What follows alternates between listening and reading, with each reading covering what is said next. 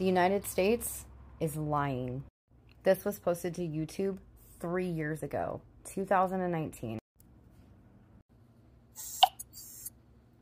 The Pentagon is using high altitude balloons to conduct surveillance tests in the Midwestern states of South Dakota, Minnesota, Iowa, Wisconsin, Missouri, and Illinois, according to documents from the Federal Communication Commission. The Guardian reports the surveillance balloons are carrying small satellite like vehicles with synthetic aperture radars, sensors, and communications equipment.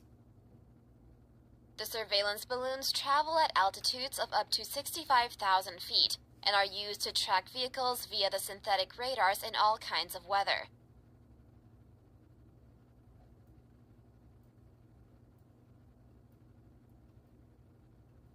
The Guardian reports that the balloons use an advanced mesh networking technologies, which allows them to share data and communicate with one another.